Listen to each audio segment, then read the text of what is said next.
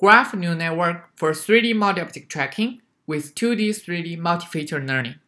Our work contributes a new 3D multi-object tracking method that can learn more discriminative object features.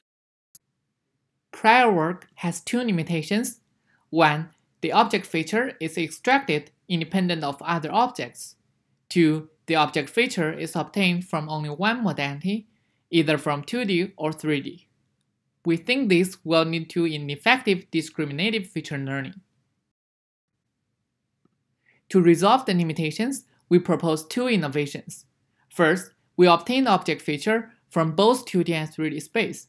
Also, we update object feature through interaction using graph neural networks. Here are our video results. We show that our method can produce stable trajectories over time.